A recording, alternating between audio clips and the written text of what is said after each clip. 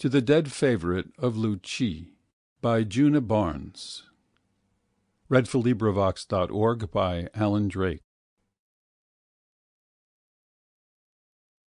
The sound of rustling silk is stilled, With solemn dust the court is filled, No footfalls echo on the floor, A thousand leaves stop up her door, Her little golden drink is spilled, Her painted fan no more shall rise Before her black barbaric eyes, The scattered tea goes with the leaves, And simply crossed her yellow sleeves, And every day a sunset dies.